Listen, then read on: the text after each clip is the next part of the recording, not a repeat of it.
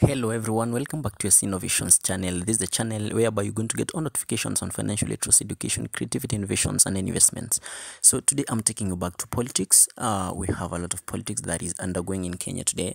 And uh, today we are looking uh, into the youngest aspirant ever for the women representative in Bomet County.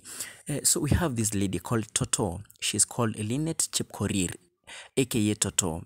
The 24 year old underdog surprises friend and for with her win in Bomet. So uh, on 14th April, that is yesterday, we had nominations of the UDA party uh, across the country.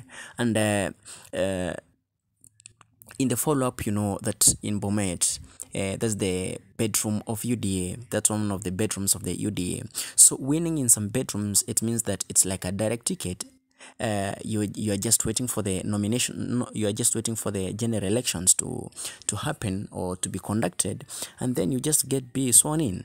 Yeah so this lady for their student from the University of uh, from Chuka University who is uh, taking the undergraduate that is the Bachelor of uh, Business Administration surprised many people after winning uh, with a very big uh, margin uh, uh, the, in the race of the nominations that is the Women Representative Bomet County.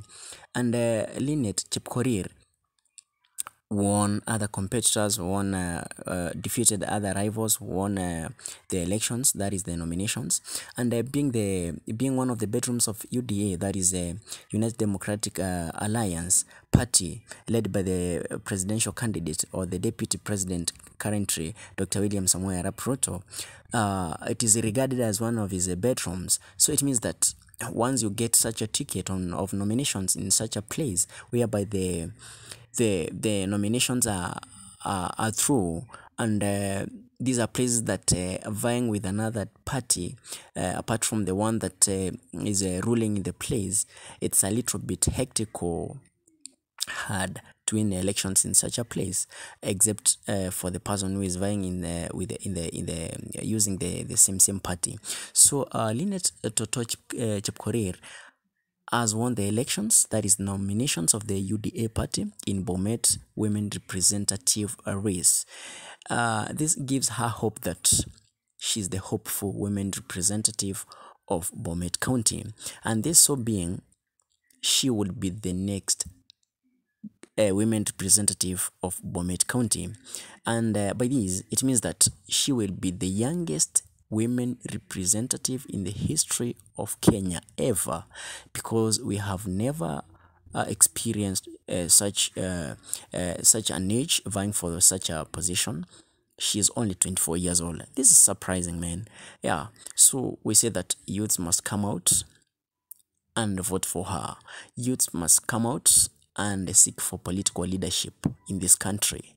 Look at Lynette Chepkorir she has managed it to go and win the nominations of UDA in Bomet County, one of the bedrooms of UDA. Hopefully, she is the next women representative of Bomet County, and hopefully, she will be the youngest women representative ever in the history of Kenya. In the National Assembly, she'll be the youngest too, for the time being, because you can see John Paul Mwirigi was the youngest uh, member of parliament, but now, uh, by by then in 2017 he was 20, 23 years, but currently he is 27. But now we are going to have the uh, the the history breaker that is a women representative who will be 24 by then, and uh, she'll be the first woman rep to be the youngest of all ever. Uh, so don't forget to subscribe to your Innovations channel. This channel gives giving you all the gossips across the country, uh, stories that are happening within the city. We see until next time. Subscribe and keep sharing with friends. Goodbye.